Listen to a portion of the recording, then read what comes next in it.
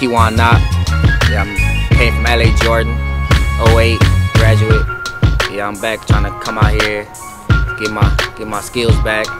Stepping in this year at ELAC, trying to take a couple of to a house, you know, trying to do my little thing. I think gonna be a good team this year. Everybody gotta just come to the ball, go hard. Gotta go hard. I come to get it. I don't got it. I come to get it. Out for number nine.